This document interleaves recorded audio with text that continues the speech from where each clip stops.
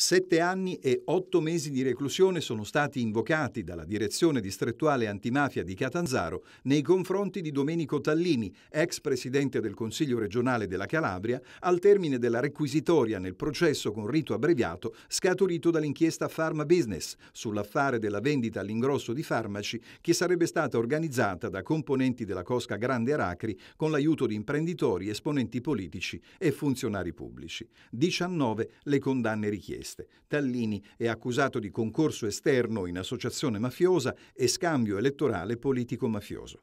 A fare da collante tra i vari componenti del sodalizio sarebbe stato l'antennista di Catanzaro Domenico Scozzafava, accusato anche di associazione mafiosa, nei confronti del quale la distrettuale ha chiesto 16 anni di reclusione.